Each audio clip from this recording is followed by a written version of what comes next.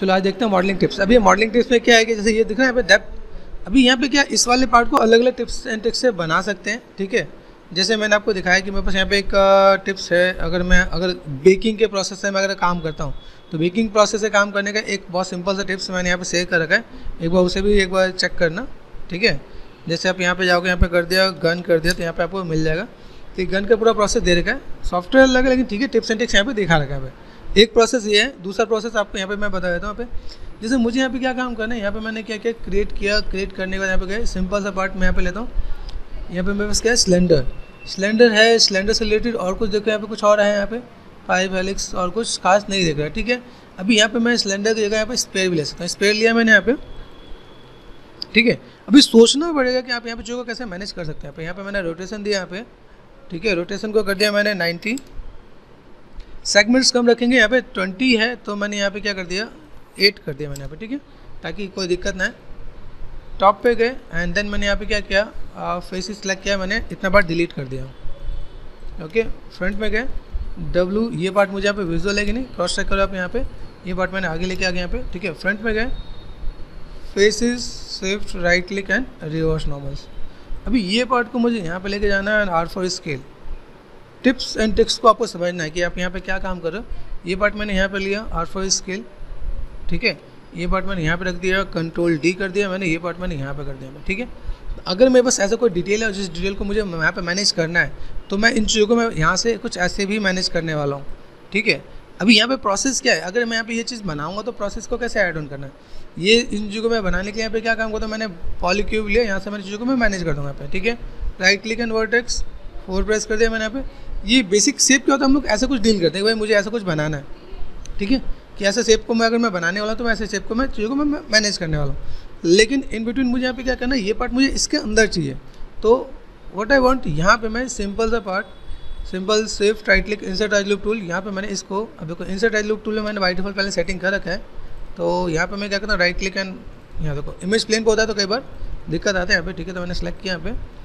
अभी यहाँ से मैं क्या करता हूँ shift right click insert right look tool पे गए हम लोग यहाँ पे और यहाँ पे मैं क्या करता हूँ एक ऑप्शन यहाँ पे जो रिफ्लेक्टिव पे जाके काम करता है यहाँ पे ठीक है तो रिफ्लेक्टिव गया यहाँ पे मैंने ये एजेस यहाँ पे दिया और यहाँ से मैंने क्या किया ये एजेस मैंने यहाँ पे दिया यहाँ पे ओके यहाँ से एक एजेस मैं यहाँ पे और दूँगा यहाँ पे ठीक है ये पार्ट में बस यहाँ पे आएगा ताकि मैं यहाँ पे कनेक्टिविटी दिखा सकूँ यहाँ पे यहाँ पे चीज़ों को मैं ऐसे ही मैनेज करने वाला हूँ ताकि यहाँ पे चीज़ों को मैं फुलफिल कर सकूँ यहाँ पे जो मेरे टिप्स एंड टिक्स है ठीक है, अभी इतने पार्ट को मैं अगर यहाँ पे मैं चीज़ों को मैं मैनेज करता हूँ तो मेरे पास यहाँ पे ऑप्शन मिल जाता है कि भाई मुझे यहाँ पे कोई भी काम करना है तो मैं कैसे करने वाला हूँ?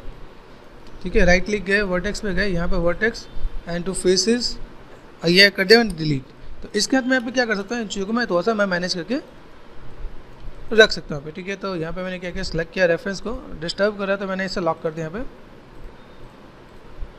ठीक है?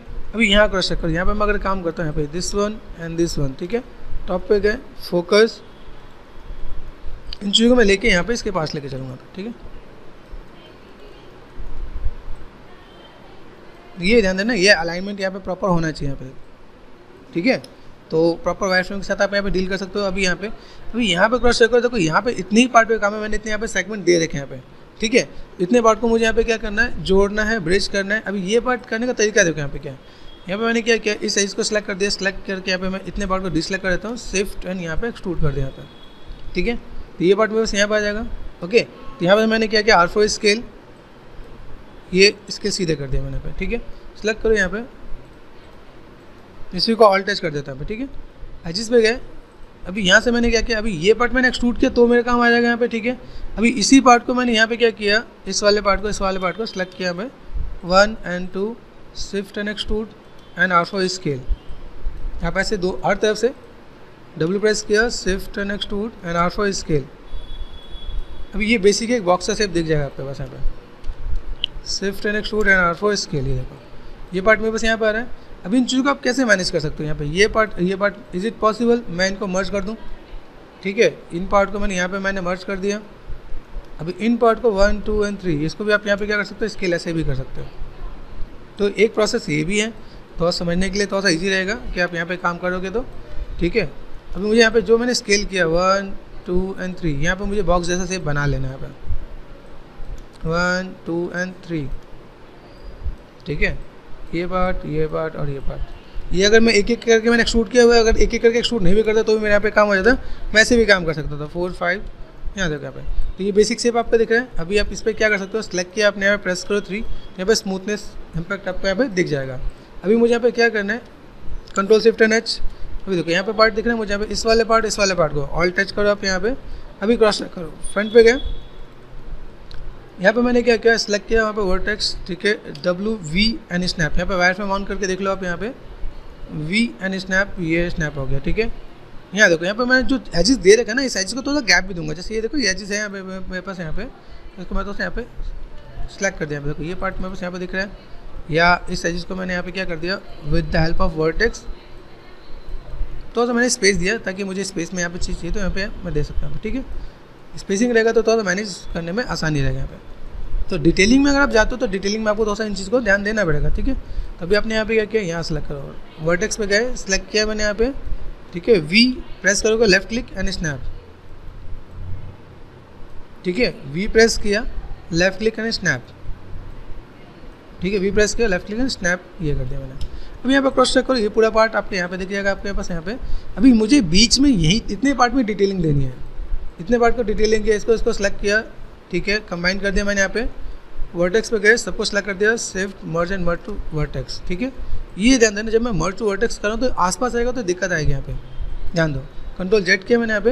अभी मुझे यहाँ पे लगा कि ये दिक्कत दे तो मैंने अंडू कर दिया। अब इसको मैं डिसलाइक करके मर्ज कर सकता हूँ मर्ज वर्टेक्स ठीक हो गया। प्रेस करो थ्री यहाँ देखो। आपको चाहिए देखेंगे आपके यहाँ पे? तो मुझे यहाँ पे किस टाइप से काम करना है? या इससे मैं स्मूथ भी दूँगा तो मेरे यहाँ पे काम कर जाएगा। इतनी एरिया पे। सेलेक्ट किया मैंने ऑब्जेक्ट को। सिर्फ़ राइट क्लिक एंड स्मूथ देखो, नीचे में सपोर्टिंग एज नहीं है। ठीक है, ये आपको पता है सपोर्टिंग एज नहीं है। मैं बिना सपोर्टिंग एज के काम करना पड़ेगा। तो अभी मेरे पास मुझे जो दिखाना है, वो मुझे यहाँ पे दिखा। सेलेक्ट किया मैंने यहाँ पे वायर फ्रेम एंड यहाँ पे मैं चीज़ों को ऐसे दिखा सकता है यहाँ पे। ठीक है डिसलेक्ट किया यहाँ पे देखो यहाँ पे। तो आपको उसको डेप्थ एंड डिटेल आ गया। आप यहाँ पे सेलेक्ट करो राइट क्लिक करना साइन एंड ब्लेंड डालना यहाँ पे। तो आपको यहाँ पे डेप्थ एंड डिटेल दिख जाएगा आपको यहाँ पे कि कैसे मुझे डिटेल बनाना है।